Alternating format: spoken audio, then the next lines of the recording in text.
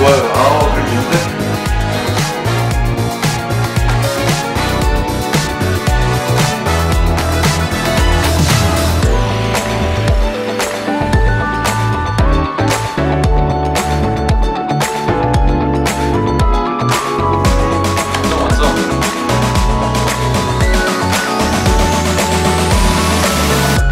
네, 안녕하세요. 종현입니다. 첫 번째 미니 앨범 Do Disturb라는 앨범명을 로 돌아오게 됐고요. 눈, 코, 입이 없어서 더 상상을 하게 되는 것 같아요. 오히려 눈, 코, 입이 있으면 이목구비가 보이기 때문에